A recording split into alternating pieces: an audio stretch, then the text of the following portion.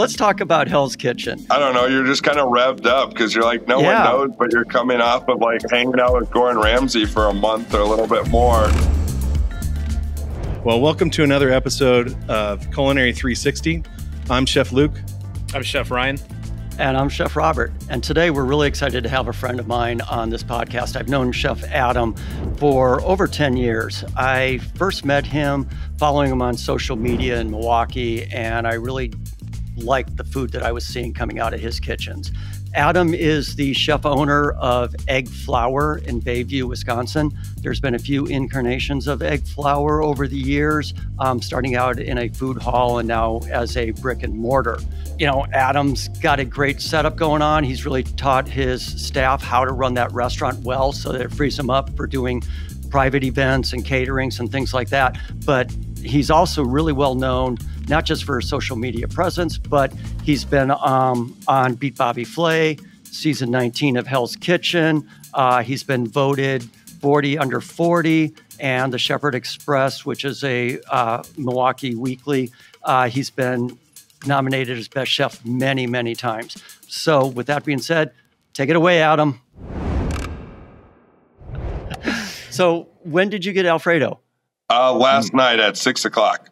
Oh shit, that Oh, early. wow. Wow, that's awesome. He's new as shit right now. Has no idea Yeah. what's going on.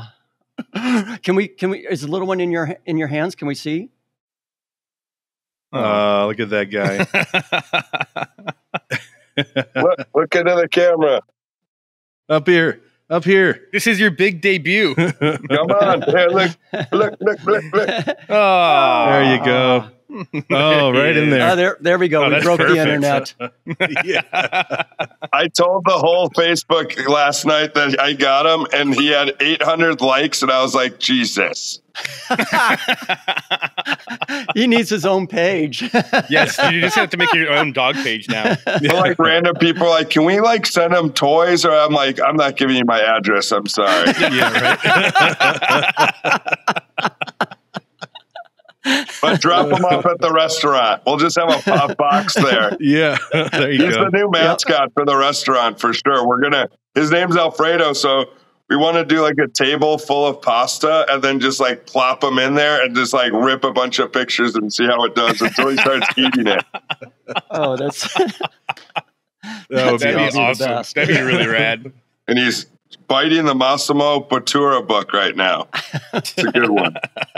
He's got good taste, at least, right? Yeah, I have that exact same Bob Burgers photo in my apartment. yeah. The floating burgers. I have it in my wall too. I That's love right. it. I love Bob's You Burgers. gotta show the love to the burger. Yes, you do. There you nice. nice.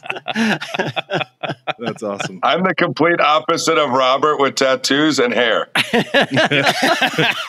we all are. I know that's kind of kind of bizarre when we'd go to um, charity events or we'd run into each other at other things, and it's like, yeah, it's you know, I I I look so straight.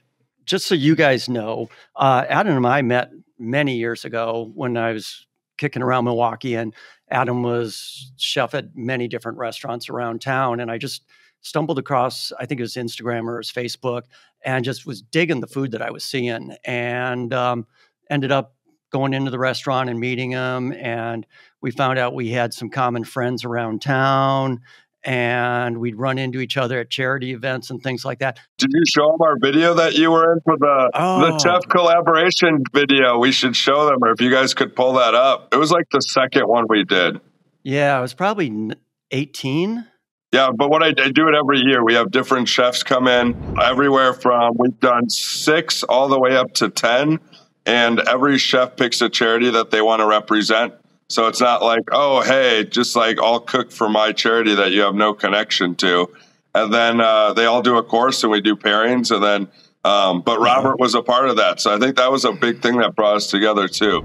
That's cool. He was the only chef doing something where no one knew what the food was. it was like a remember that? right because i got i got thrown on vegetable Yes. I did smoked uh, red and yellow beets, and I had um, some sort of, you know, this is back kind of molecular days. Um, I had like a brown butter, uh, snow on there and some sort of um, beet and yogurt gel thing or something. And Yeah. yeah.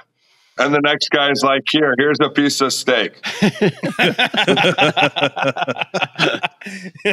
That's that sounds about right. I feel like sometimes those collaboration dinners. I mean, there's there's a pretty wide array of what people are actually executing. Yeah, and that was a thing where like we had we don't really I don't really put a theme on it because I'm like everyone's so different and there's no rules and it's like hey the only thing that we really do is give them like what to do for that course so at least it makes some sense Uh-huh. but progression at these things are a little difficult because it's like you don't want to tell a chef like no that Yeah, dish is not going to work when we just make sure that we're not repeating the same uh, ingredients you know a lot or whatever but really good over the last we've done five now and we've probably raised over $250000 between the five dinners That's awesome. That's, That's so awesome. amazing. That's That's so really awesome. rad. you want to fly in and do another one get the ignite, ignite team to do a course Ooh. Oh, that'd be that'd fun. be fun. Yeah. Yeah. I'm down. That sounds awesome. Yeah. Yeah, right now, fun. well, how we do it is I kind of like look for a venue first, or and then Mhm. you know grab the date, and then I just send out to like fifty chefs, and the first eight that respond um, get a spot, and then we just we go from there. But it's really easy. We take care of everything, super smooth. Um, usually the venue takes care of a lot of the stuff, so it's nice. It's like show up with your stuff, and I'll tell you Mhm. what course you're on, and that's it. That'd be so much fun. Yeah. And it's a, the big the big reason I always started is because I wanted chefs that didn't know each other to get to know each other. Mhm, And like mhm. that's the only good way. It's like we're not gonna have no one's gonna like go out to a bar and just start mingling. It's like Right. we need to be in the same space. We have the same vision. And it was cool to see chefs that like were in Milwaukee for like both of them 20 years meeting each other for the first time. They're like, "Oh, I know who you are, but I've never met you." And I'm like, "Oh, I'm the reason you guys met." I'm like your matchmaker. All right, here we go for a good See, cause. that's cool.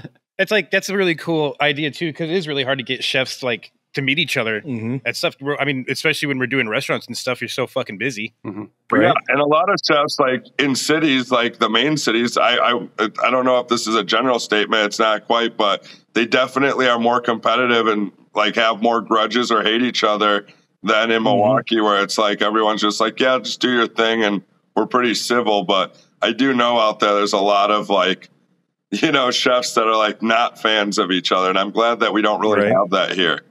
Yeah, I saw nice. that Yeah. some in Chicago when I lived there and worked there.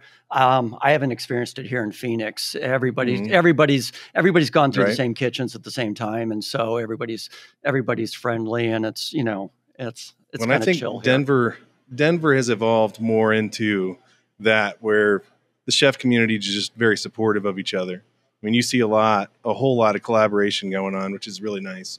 But it it wasn't always like that. It was, Yeah, you know, years ago, what, 20 years ago ish. It was more cutthroat. You know, I don't know too many people in- in Denver. My my uh, uncle lived in Boulder for a long time, and uh, but never in Denver. when I I got my first like corporate chef job, I, I was a corporate chef for Red Robin, and they're based Okay. out of Denver. So that was that was really my first quote unquote restaurant job in Denver.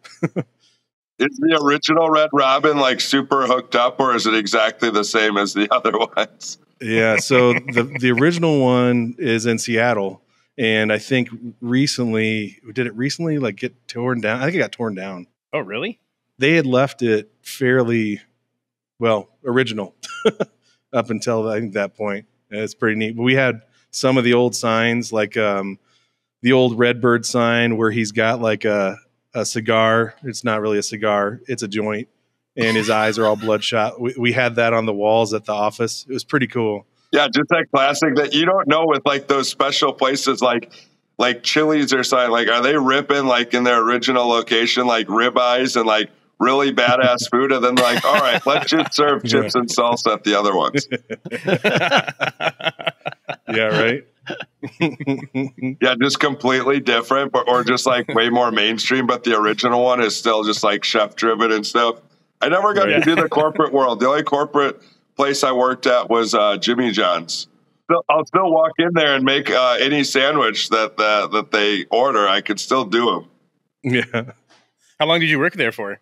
I worked there for like I would say like not even a year. I it was like in between like taking like work. I've always only worked in a restaurant, but it was in between working at like a decent place and then like a really nice spot. So it was like kind of like a little culinary break, if you will. Mm-hmm. Um, and I was moving. I had to go help my dad in uh, in a place called Shorewood where Robert lived. It was actually that one Mm-hmm. on Oakland, Robert. Okay. It was like the busiest Jimmy John's in the Midwest. Well, that's because it catered to to the school to the university. Exactly, the college and stuff. But it was just crazy because when you have like the chef background, it's like if one of us walked into a Taco Bell, we would just take it so seriously. It'd be the best damn Taco Bell meals ever. Like perfect mayo ratio, tomatoes Yeah. cut, everything's good.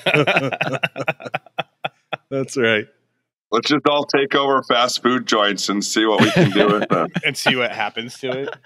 Well, it, there was a thing where chefs were doing elevated fast food, so you had to take.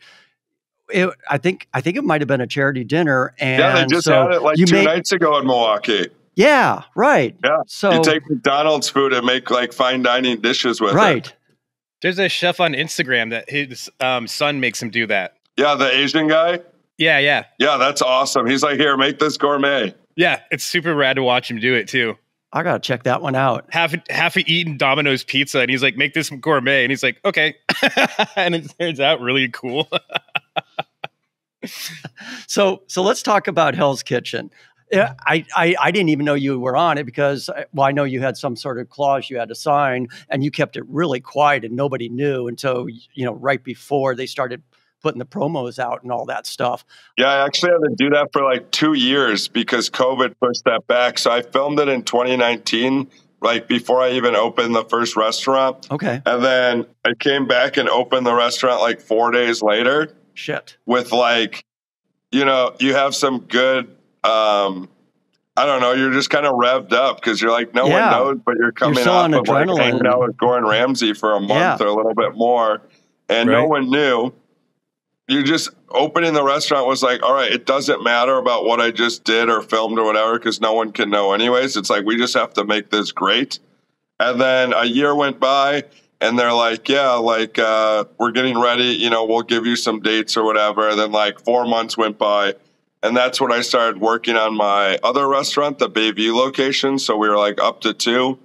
And I was open for six days on the brick and mortar like version because my first restaurant was in a food hall. So it was just like a, a stall that was uh, uh, set up for fast casual. We only had like six or seven menu items, real real quick and easy. Um, yeah, but you were making the pasta there and you were Oh, doing yeah. everything right in there, so it's not like you were bringing stuff in. No, no, we never did that. We, uh, yeah, we extruded everything and made all the sauces and everything with scratch. We had a big kitchen in the back that everyone shared, which was really nice.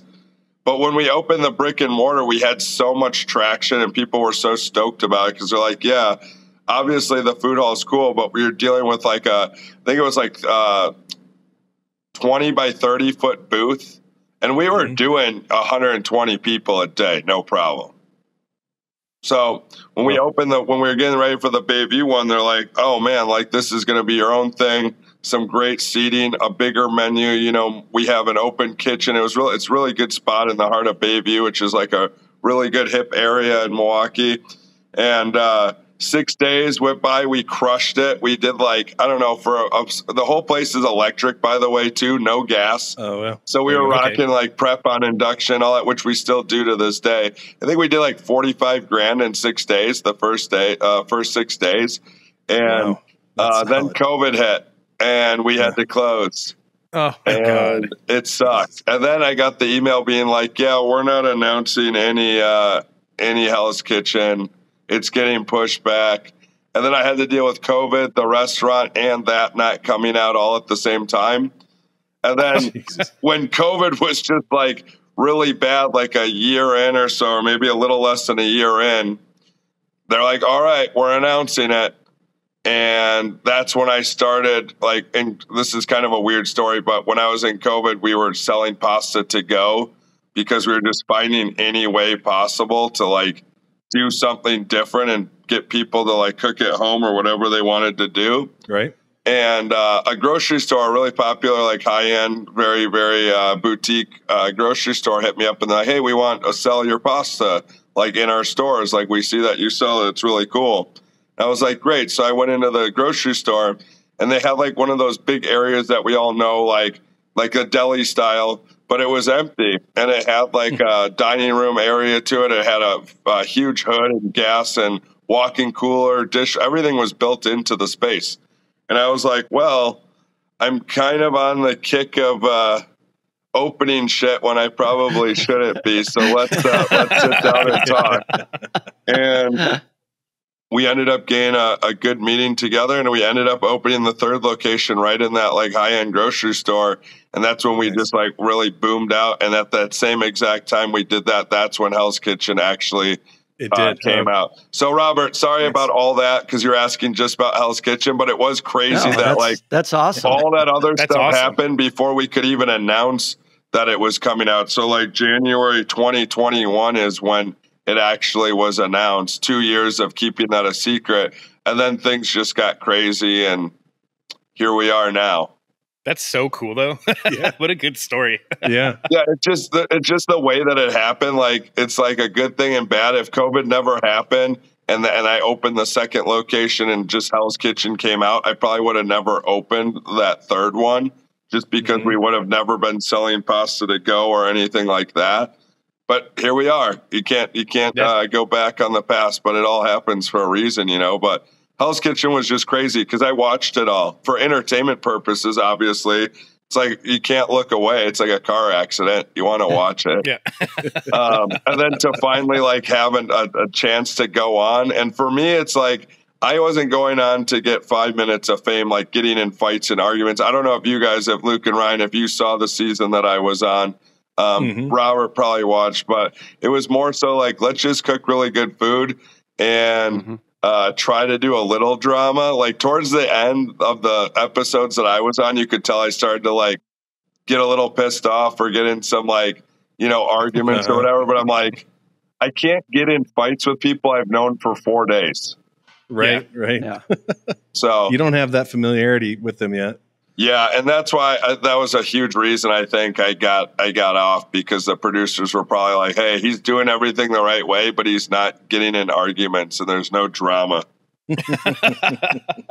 Which is a huge thing on that show. You know, obviously yeah, the yeah, food is the right. good thing, but I went up against uh, you know my elimination was the first time I went up, and it was against a guy that's been up for elimination four times and I got taken off. And then the next episode, he's gone. I'm like, oh, you just guys uh, want another? you want one more episode of bullshit?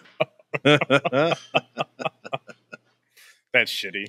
But you actually do get to work with him and hang out with him, and he's really, really like fun and inspiring. He wants you to do good. Uh-huh. It's cool when he comes around when you're doing like a challenge or something, and he's like tasting your food. He's like, all right, keep that up. You know, it's like he's not trying to make people look shitty that right. not that that's easy. That's easy yeah. for yeah. people. and people are like, "Oh, these are supposed to be chefs. It's why can't they just cook whatever?" And I'm like, I understand that, but some of the people out there casting, they do a really good job with saying, "Hey, they're just good enough in the kitchen, but we know that they're going to either fight or argue or right uh, be very cocky or whatever it is." Where um, it's it's just for the drama, you know. But that show is super crazy. The back end of it, how they do it, what goes on every day. Um, there's no scripts or anything. It's just you know when there's cameras and he's walking around and you have all these weird sets and every all these challenges. It just is what it is. Just random shit happens. You, you don't you don't need to script it.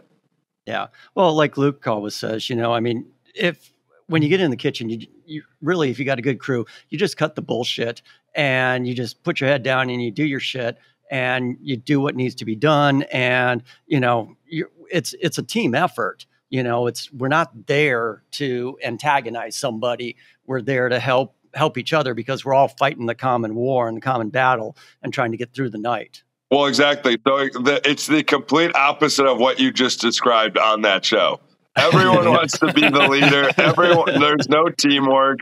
Everyone mm-hmm. wants to shine in their own way there is plenty bullshit and plenty arguing, and that's why it's been on for 22 Yeah. seasons. They they know Right. what they're Yeah, doing. right.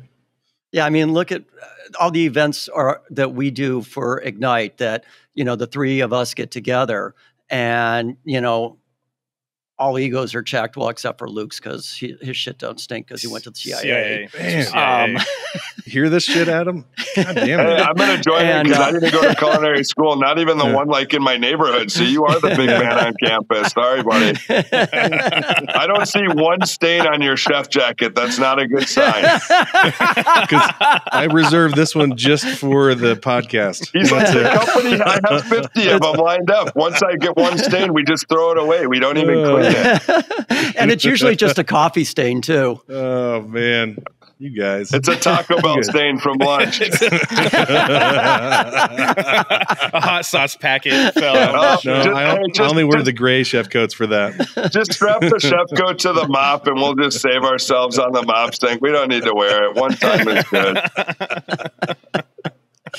Nice. I can't So- say shit though. My employees, we all wear T-shirts, so we have no uh, no ranking system by us. But a lot of my business now is Robert probably knows is a lot of private chef work and corporate stuff, whether it's Bucks or Brewers or um, you know corporations will come in and want their team building or have people do stuff together. But I'm usually in someone's house once or twice a week and doing Mhm. cool experiences and stuff that I can change up the menu all the time and they want That's- that's something very specific or they, they want to change it up. Like my Instagram shows a lot of that stuff on there and my highlights and stuff like that, which I'm just fortunate to do that.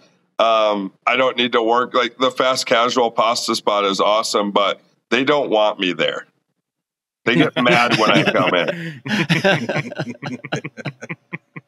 But that's good. That's a sign you got a good team that yeah. you know can can roll with it, you know, and, and do what needs to get done. Yeah, That's- my that's older kinda awesome. brother Alex, he is the GM, and then I have honestly, I think I have like I have nine employees, and between the nine employees, there's like it's crazy. There's like 40 years of egg and flour like between them. Like they've all been super loyal and they love it and they they make really good money, surprisingly, of being a fast casual joint, you know.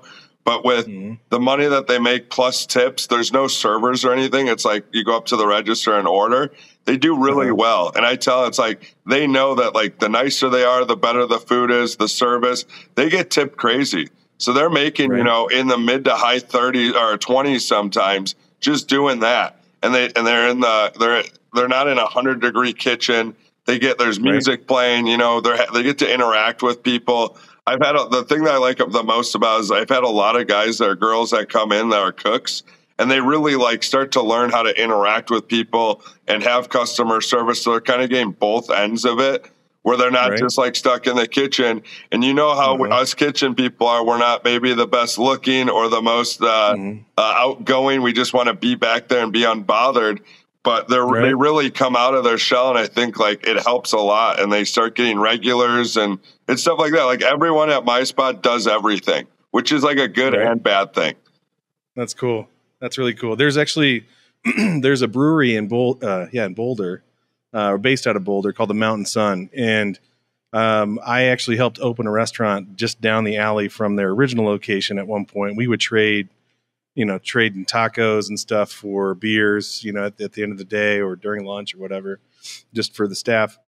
But that's the way their their program is. They, I mean, they had people that just rotate around um, they had servers, but those servers were also the cooks too.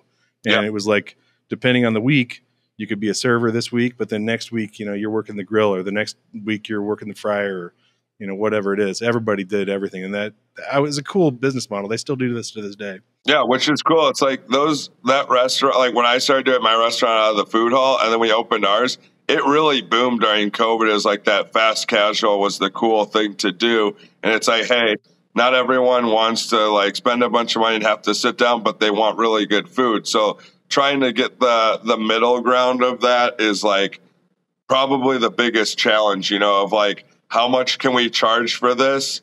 And then what ingredients do we have to use to even fit those margins you know? Right. like for us everyone's like oh pasta's so cheap you probably make a killing. I'm like yeah until you have an employee that costs me 22 bucks an hour to sit there and make all the pasta and not bring any money back for you know she's just prepping. Right. or we make all the sauces or we're paying really good people to make sure that that, that pasta comes out the right way so Mhm. i love when people are like oh yeah or it's like even like a really nice pizza spot like yeah pizza's so cheap i'm like yeah until you're buying or are making your own cheese or you're you're making Right. every all the ingredients that go on it or you're having a, a master pizza maker that has to do all the dough and he's in there for you know every single day at four in the morning or overnight or whatever Right. Yeah, it's a lot of work. There's a lot of a lot of moving pieces. the days of like cheap ingredients or cheap concepts i think are over i mean i just spent i, I know we keep talking about taco bell i don't know maybe i need to go eat that but i spent 18 Yeah, I'm probably gonna have that bucks for lunch there. today. not too long ago and i'm like $18 used to fill up a whole one of the like Right. special bags that they have like in reserve in the back Right. all right well we'll run that what's your what's the favorite food to cook start with robert Favorite food to cook? Wow.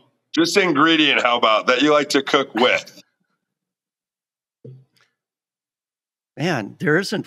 I don't know. It it changes every day. It changes every week. It changes with the seasons. It changes. I don't know. I because I don't because I don't cook every day. I'm doing so many different things that it's like I, I got really excited the other week when when we did the burger challenge for marketing, and I had to you know come up with that southwestern burger, and so you know trying to figure out okay, yeah, I'm going to mix. Um, beef with chorizo and you know what you know what other flavors can I put in there? But I mean I'm always going to go to something that's like Southeast Asian as long if it's sweet and sour salty spicy if it's got some of that stuff going on some ferment it's like um I'm all in. Yeah, I'd say for me, it's more of above all else. I love like a braise, right? Anything that I can do that's like that, just because I like the the attention to detail. You know the you know becoming one with those ingredients and and that sauce and everything that's that's happening with that product. But I think Latin foods for me would probably be where I would go to, but just because there's there's so many different possibilities. I mean, we opened this restaurant a while back. Uh, it was all Latin foods, but you know that's all of South America. It's Spain. It's you know uh, uh, in the you know tropical regions as well as other places too. So it, the influence is kind of I don't know. It's just a whole you know bunch of different worlds kind of smacked together. It gives you a lot of lot of places to go. yeah the melting pot with that Mm-hmm. how about for you Ry- Adam well, i was going to go to ryan first i guess okay all right meat anything meat i love cooking meat. I love Yeah. smoking it. I love sous videing it. I love doing anything with it from like i don't know pork to lamb to all that type of stuff. I just i don't know why. I just always have my dad was a big griller when i was growing up and stuff so it was always kind of like well that's cool. And then he would be like i don't know like i was watching this cooking show and this guy made a smoker out of um pots like planting pots sure and so instead of going to buying a smoker, I'd come home in the driveway and he would have like 40 gallon planting pots, made a smoker out of it with like wood and shit. And I'm That's like, awesome. that's cool. yeah, a little different than the cia training yeah, just a touch. 100%. no, I get th- I get that too because I feel like with the meat, like everyone's like, "Oh, I can cook a great steak," or you go to like great steakhouses that are super well known, and you're like, "Eh, that's not what I was expecting." Or I was expecting more, Mhm. but it's like Mhm. there's so much stuff you can do with it and techniques and different stages of marinating or the sous vide or dry rubs or whatever where i'm surprised so many places when you see like a video or a documentary they're like yeah we just put salt and pepper on it and on the grill and i'm like there is so much more you can do So much Right. more. and it's not Like, to so change the flavor of the meat it's to like give it something because if you think about it even the prime or the stuff that's really fatty or whatever it still needs help Yep. Mhm. Yep, 100%. yeah Yeah, and I, I I love that. It's and it's I like going to like um the grocery store too and just getting like six different meat seasonings Yeah. and mixing them together. Like, exactly and then adding other stuff to it, like making it like your own rub. Well, and so like, everyone goes like, "Oh, what did you season those steaks with?" I'm like, just uh, for you guys, just your whole seasoning cabinet, just rip that down. Equal parts everything. just go for exactly. it. Exactly. like it's not, it's not, it's there's not a special way to follow or whatever. I just say do equal amounts of everything, and you should be pretty Yep. good. Yeah. yeah, Right. exactly. But yeah, for me, it's it was always like steaks. Obviously, pasta is my jam. I like it because I like learning new things because I know not every chef, even if they're really, really high end cookie or whatever, I still see some chefs like really struggle making pasta. And that's kind of like my thing where I'm like, yes, like I can do that. And obviously, there's tons of things that I don't know or I, I would totally fuck up in their world. But I feel like pasta is just so satisfying and like it goes, you can make like, even a pretty shitty sauce, and if you have fresh pasta, you're like, okay, it's fine.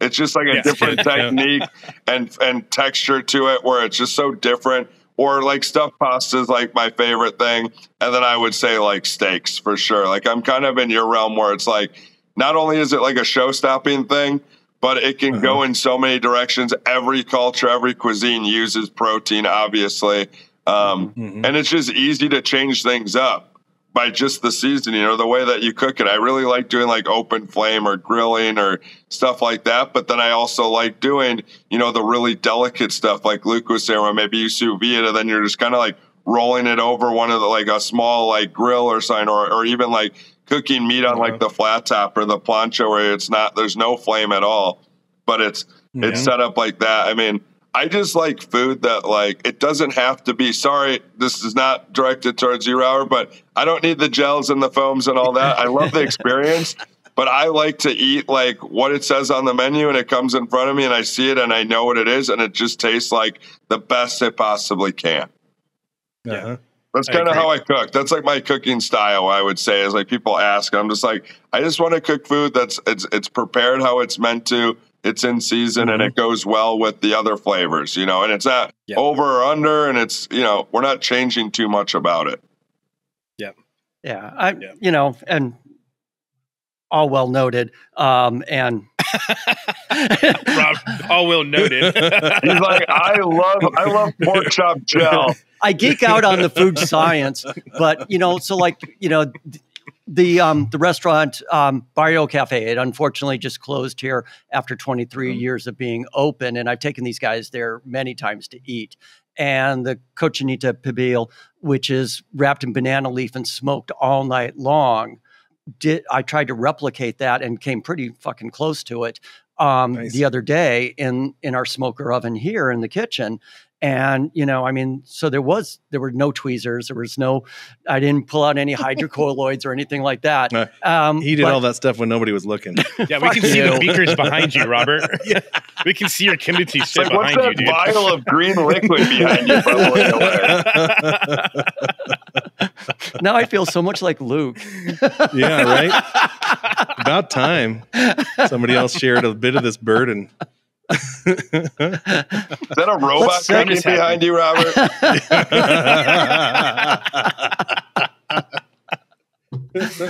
I'm I'm actually controlling all the equipment with Mind Thought right now.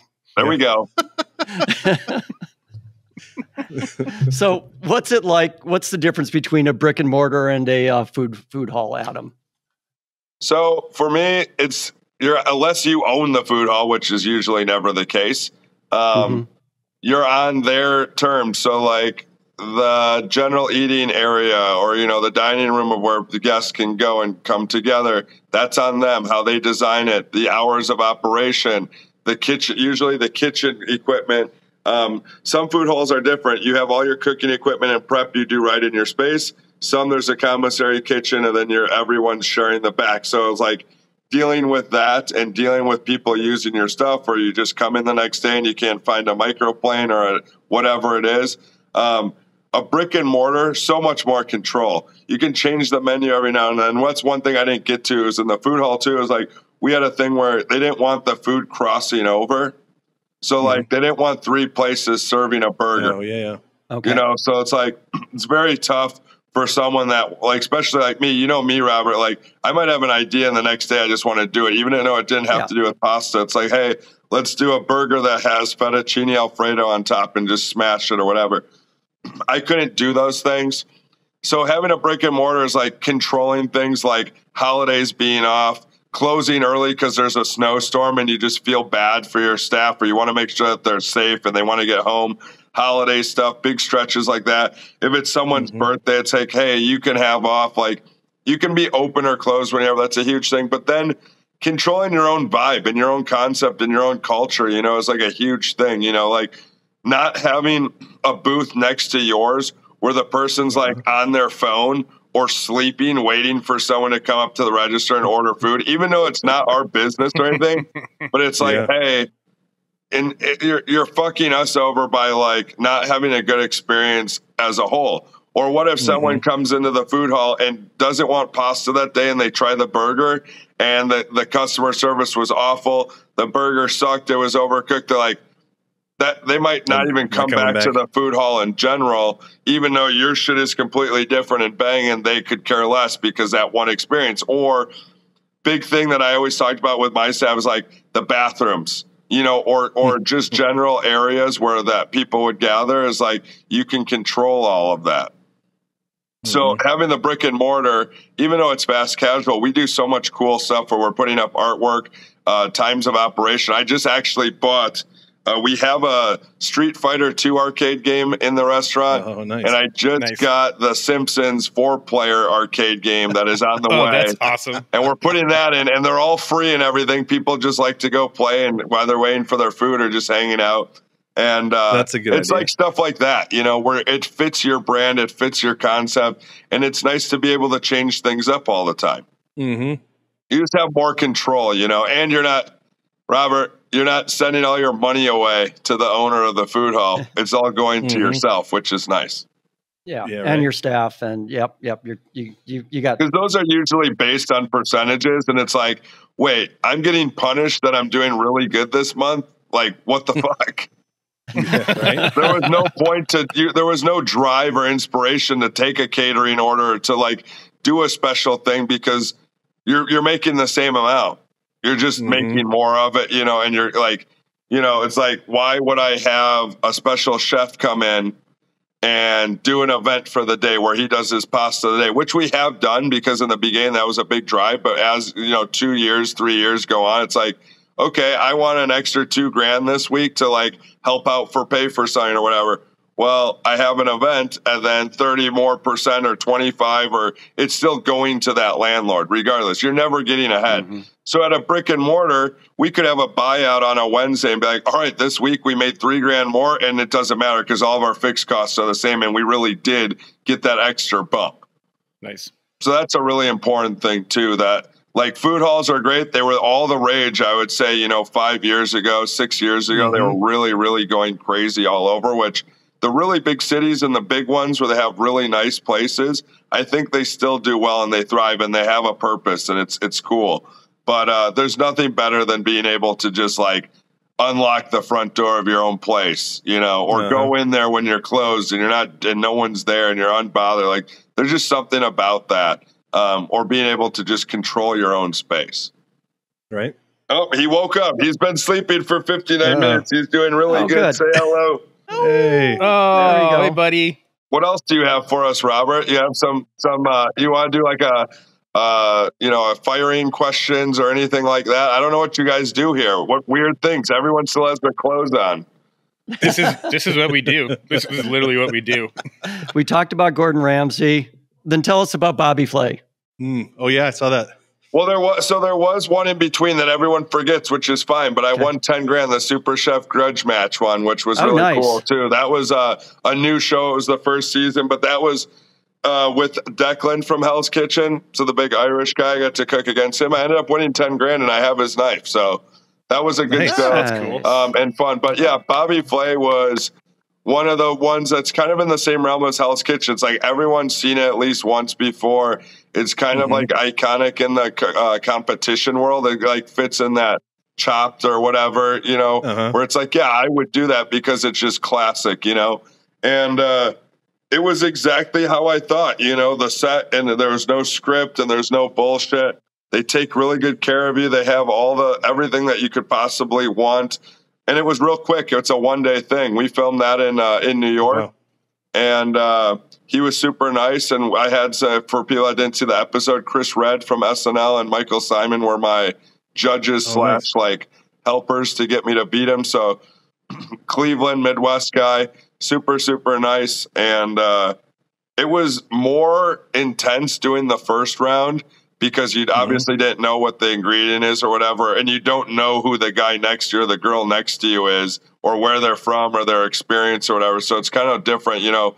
At least with if you get to the second round, you know what you're going to cook, and you're like, all right, it's Bobby Flay. He's just going to do something pretty decent, you know. hmm But yeah, so the first round, uh, he pulls out red onion, and I at first I was just like, "Oh shit!" And it's literally like forty-five seconds to a minute when he shows you the ingredient and when he rings the bell and you start cooking. So it's real, really not scripted. Oh wow. They don't tell you the ingredient before you show up or anything, which is cool because I think they'll make better dishes too, like that. You know. Yeah. Um, yeah. But he pulls fucking a red onion out behind him, and at first I was just like, "There's no way," because it's twenty minutes. Hmm It's not like you have 40, 45 minutes cooking something is so Right. much different than 20. It's Uh-huh. like by the time you need to get your pans hot and your plating, you're down to 10 minutes essentially. So Jesus. I did the uh, I did the French onion soup bucatini, which I've done as a special. So good thing I, I fucking take part in the 420 community and come up with dumb ideas to put with pasta because it saved my ass. Because I was like, all right, onion, and really what came of it is I saw a big cast iron on the stove that was already set up there. I was like, oh no, I'll do something with that. Uh-huh. And then I saw they had bucatini and like this. Um, it looked like a flour base, whatever. And I was like, all right, let's just go. Mhm. And it was just like caramelize the onions as much as possible and build French onion super quick and make pasta. And who doesn't love pasta? That's the thing. Yeah. It's like you could, if, if you would have said tomatoes, a good part of me probably would have made some sort of pasta. Or like you think of these ingredients, you know, as long as it's not, I was just hoping it wasn't like pineapple or mango or some shit like that, you know, because Uh-huh. that was the one thing I watched so many episodes and like there you have a chance to get the worst shit ever.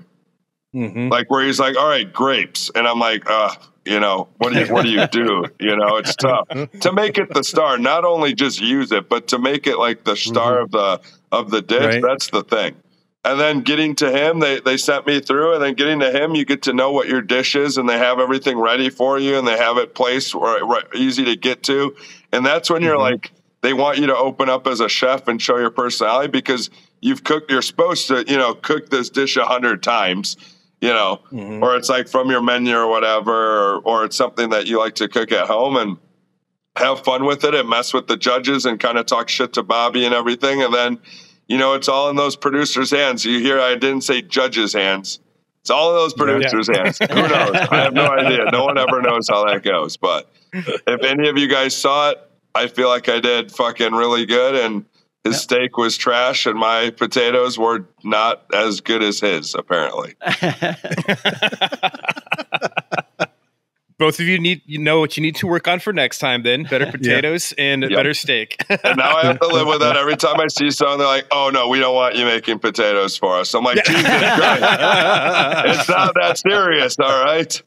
well, we'll do a second podcast with you and let you redeem yourself with potatoes. It'll just be you cooking potatoes. Hey, the next time that we do this, I'm gonna be in my white chef jacket at the restaurant, and I'm gonna show everyone that I actually am cooking. it's just gonna be two hours of you cooking potatoes, Yeah, all different kinds, just all all different. different kinds. Hey, there's a there's a TikTok out there that's actually pretty cool to watch. This guy does all things potatoes, and he does shit that I didn't even know existed in the potato world. I can believe that. Do you know? I think it's Peru has like four thousand different types Mhm. of potatoes that grow out there. Yeah, It's a lot. Isn't that yeah. crazy? Yeah. I mean, Right. I, I'm just curious when there's that many. Is like, do they all taste really good, or is the guy talking about the four thousand different kinds? Is he just like trying to like make it seem really good, or there's some that just taste like complete shit? Yeah, They're just yeah, they, they're they just have trash. to just taste like garbage. There's you can't got to be some, them. right? I mean, I love potatoes, but there's got to be something that ta- just tastes Well, awful. I, I, Has to be. I think a big part of it too is that Peru has so many different uh, microclimates throughout the entire country mm. that you've got you've got you know snowy peaks you've got down by the ocean so you know everything's just growing in a different zone so that's you know you've Now got that's a CIA answer right here. there. Yeah. Okay, Robert. Here we go with your chemistry. I didn't even have to say it. All right, all right. He's like, well, when you take your private helicopter up to the top of the mountain, there's potatoes up there. And then when you take your yacht to the ocean side, there's potatoes down there. We know how you roll, Robert. it's it's good to be the corporate chef We're not letting you educate anyone on this podcast. We don't want any real information going out to people. What are you doing? How dare you, Deuce, talk about something actually informational here? okay, so since you opened the door, this will fall right into it, and I'm opening myself up to major ridicule. Oh God. My wife books all of our she books all of our trips. So we go to Turkey, and she did it through a travel agent, and our um, tour guide picks us up at our hotel in Turkey. Um, we're in the new part of Istanbul at this time. And we're supposed to go on a cruise of the Bosporus. And I've seen all these big cruise boats, and you know, you got all these people hanging off of it. And so we're walking and we're walking, we walk past the big boat. And there's, I see in the distance like this 70 foot yacht. And we keep getting closer to it and closer to it. And I'm like, well, where the fuck are all the rest of the people? My wife booked us on a private 70 foot yacht to cruise the Bosphorus for two hours. Oh, Jesus Christ. I wasn't even wrong. you weren't wrong. I'm out of here. I'm out of here. This is my two weeks. Hey, he said uh. wife, but he meant Ignite booked him the Yeah. private. Good, good wordplay, Robert. Carl's going to go wordplay. back and edit my American Express now. Come on. I think he's here. Flame on the back of this boat. Wait, so did, did they have like a chef for you and everything like set up for you, or was it like a captain and then they just toured you around? It was, no, it was a captain and two other people. And so it was me, my wife, and our tour guide, and um, a bottle of champagne. That's sweet. No food or anything. They didn't like do No. have that set up. No, because we we had a private lunch at the uh, oldest restaurant in Jesus Istanbul. Here we go. After that, Yeah. With the prime minister. With the Yeah, prime with the minister. prime minister. the travel agency is like, yeah, we booked this great adventure. It's going to be like 150 grand for one day. Are you in? And then it's 250 grand per hour after that. And his wife's like, Joe, trust me. This is really good experience. Just trust me on this. one." but the receipt just says turkey, so you can write it off. You just put that on the work card, Robert. Come on now. That does sound like that do- does sound legit. Like I'm, I've never, obviously, I've never been there before. The only time I've been out of the Same. country, I went to Colombia, and there was no helicopters or yachts or anything like that. Um, really good views and like everything, but obviously, um, I'm working on that. I'm supposed to be going to Italy this year, so in September, nice. October. That's the to go visit my uh, family's actual house that they grew up in. and Stuff. I still Ah. have family that live in uh, That's awesome. Sicily. so you're going down That's south cool. then. Nice. Yeah.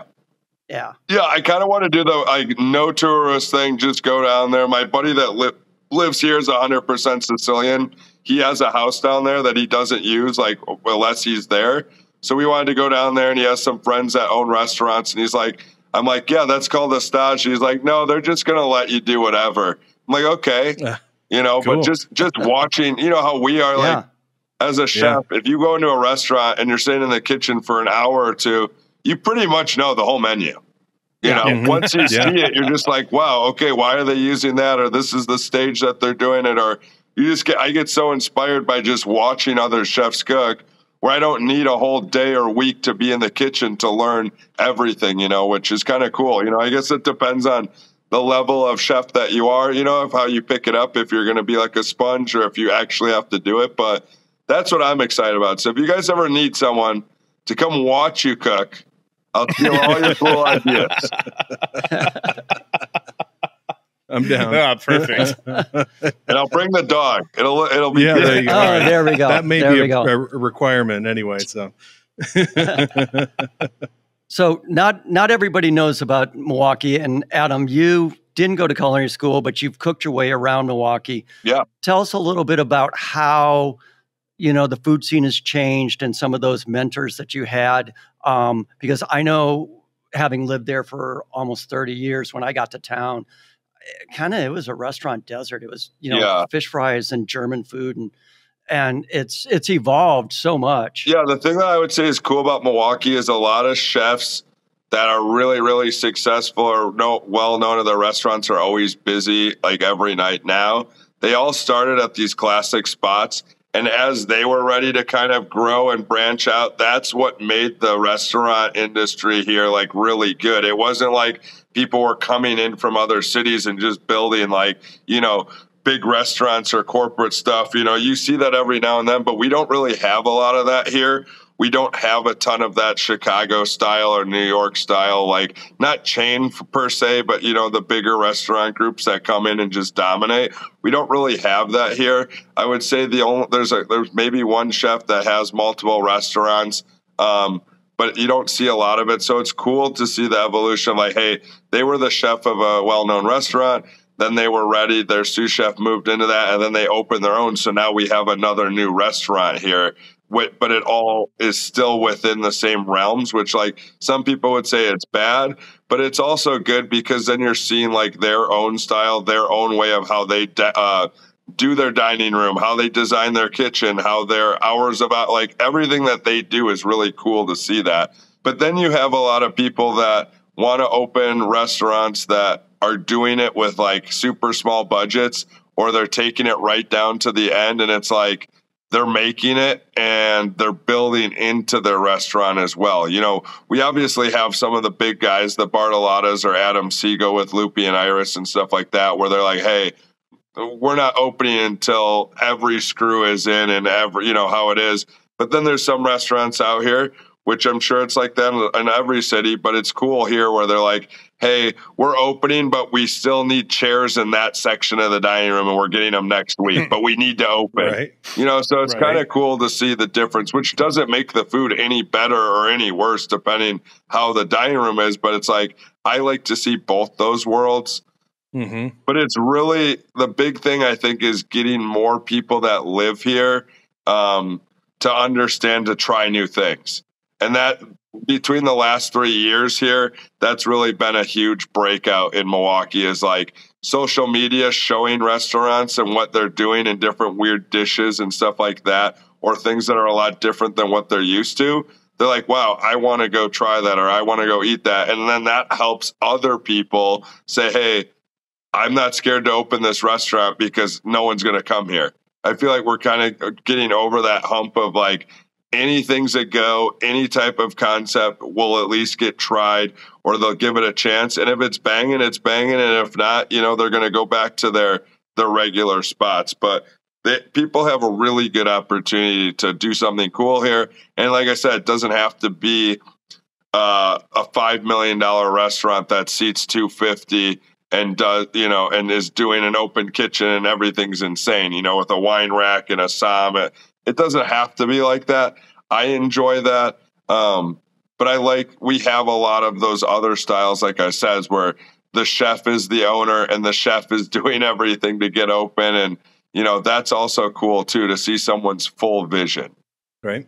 I think it's cool when you see the you know that that homegrown kind of cycle of, of restaurants like you're talking about in in some of these you know smaller markets or you know less dense markets like you're talking about where you know those chefs yeah they have the opportunity to break out because they have some experience and a little bit of notoriety somewhere uh, but then they evolve fairly quickly too and they have the freedom to do it because you know like back to the brick and mortar conversation they got their own space they have the ability to you know change and and really come into their own once they get the opportunity to really take the helm. So i, I think that's that's pretty cool about about those markets. I've i've traveled a little bit into milwaukee not that i can really uh, remember names of places that i've been to but um i remember having that feeling when i was there like you were talking about there's not there's not really the the big chain type places there's not a lot of that. There's just a lot of like this individual, that individual doing this and doing something. Yeah, cool. I mean, for a It's city fun. with 630,000 and we only have two really big heavyweight restaurant groups in the whole city, that I mean, that just shows how many, you know, small independent places there are. Um, and Robert knows it would be Benson's, who's the Marcus Corp, which is, you know, a corporation. And then you have uh, Bartolotta's that, you know, started from nothing and really just came up. And we know those guys don't mess around. But it's that to have that to only have two is pretty cool and everyone else like i always tell robert i always tell people like i have to be one of the last ones that doesn't have his own you know fine dine restaurant which isn't a bad thing it just Yeah. means that everyone here is trying to break out and do their own thing or they're working at a Mhm. restaurant that's super successful that's packed every night and they're like hey i'm comfortable with this this is what i do i don't need my own restaurant which is what i always have thought about before too where it's like it's not bad that you're not the owner, but if you're the chef, you almost have as much control. You know, you're putting the food out. That's Mhm. the biggest thing. Right? Right. Yeah. Well, the owner's trusting you. Yeah.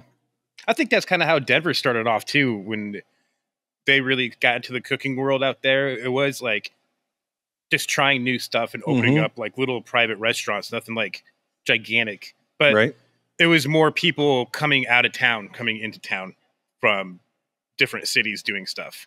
Is I think my opinion when it kind of broke out, which is fine. But I like that idea set that you said, Adam, of like it's people that are in the city doing it themselves. Oh yeah, it makes it way better because all those people too have their own family and followers and all that stuff that actually like, you know, the what is like the friends and family of the soft openings or whatever, that's super important here. That's like more important than the first week of being open because you really got to just build up that excitement and that like, oh, it's exclusive or it's really good. And that's why like I think we did really good with egg and flour at the food hall is that it was so small and it was like so small quantities where it's like people were coming in and it was just the the cool thing and a lot of social media. Robert can attest that was our thing.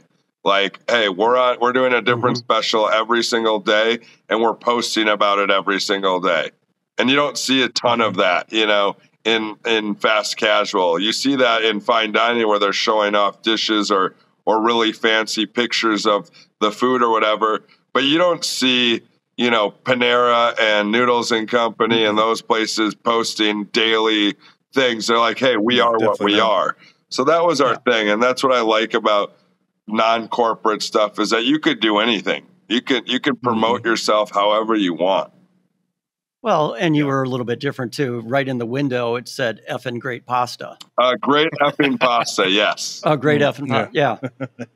which we have a giant neon in the brick and mortar now which is even bigger now robert yeah. our logo is a uh, what is it called the uh, the pop up girl the the pinup girl riding a ravioli Uh-huh. cutter that doesn't quite look like a ravioli cutter. Oh my We're God, family friendly. awesome. It's okay. Yeah. yeah, right. Yeah, you're not getting that past the HR department. I am the HR department, Robert. You have to take a picture and send it to I will. I have it tattooed on my leg, so it's really, uh, Yes. really good. Yeah, if you look up uh, like if you put in like egg and flour logo or egg and flour sign on like Google or sign that that logo may come up. That's the original one, but we're just a fun Nice. concept. That's a lot of neons, pictures. If you guys ever come down, we'll take care of you. Take that yacht down here. yeah, yeah. It's a it's a long long ride from Turkey though. I think. Oh yeah, damn it! The Ignite Turkey yacht. I'm, I'm, I'm just not even going to show up to the next podcast. I'm done. Show up. Yeah, that's what I don't felt tell like us about last- your five star vacations that you're taking. Mm-hmm. We're just all jealous. That's why we're that's why we're making fun of you. Well, I appreciate you guys having uh, having me on, and I'm glad that I can do a, a podcast that is unscripted and more fun than just the same Yeah. old bullshit. People complaining about the same shit or talking about COVID all the time or Mhm. how the industry needs to change. I just like to have fun because we don't get to have fun very often. So yeah, Yeah, right? no, we really appreciate you being on here with Appreciate us, it. Adam, and uh, telling everybody a little bit about uh, Milwaukee and egg flour and everything that's going on. And and we got to meet Alfredo. Oh Yeah. my God. yeah. Hey, and it's it's good timing because Top Chef is in Milwaukee and Wisconsin right now during their season, so you get to see some stuff going on with that Yeah. for show. That's been cool. to watch. So, Yep. and I'll show him one more time. He's going to be pissed, but here we go. Your last moment. Uh, Let's hope he doesn't take go. a piss. Oh, Uh, Alfredo. hey Alfredo. He just wants to sleep. Maybe I will have a a, gr- Yeah. uh, a child. I just need to find a girl first to make one with.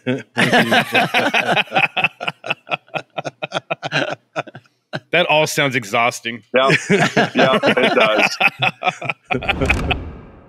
Well, that was fucking awesome. yeah, totally. and I hope that doesn't get beeped out. But what a good guest.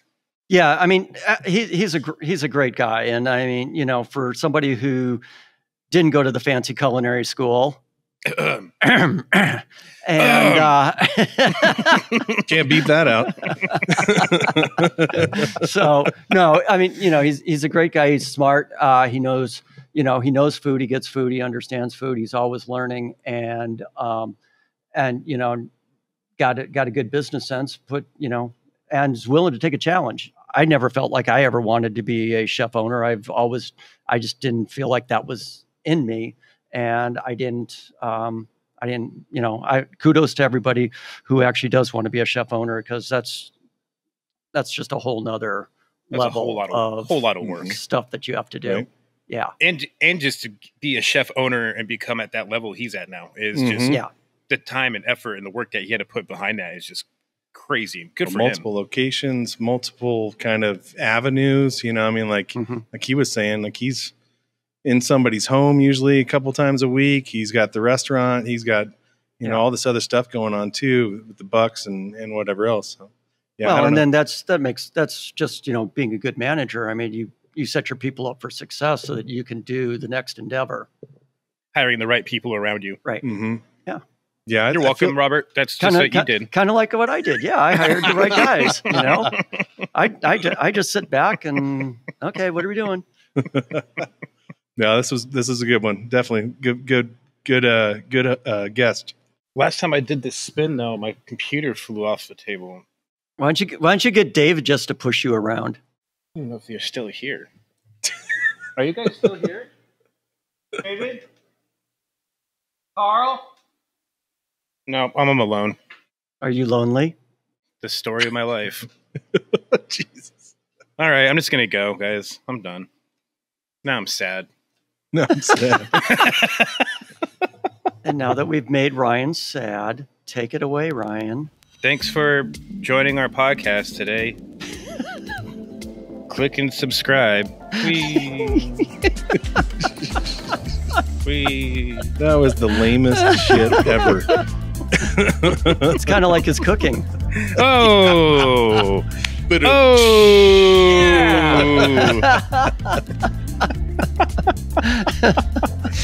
I'll start making more gels for you. Do it while you're on the boat. yeah. Click on it, subscribe.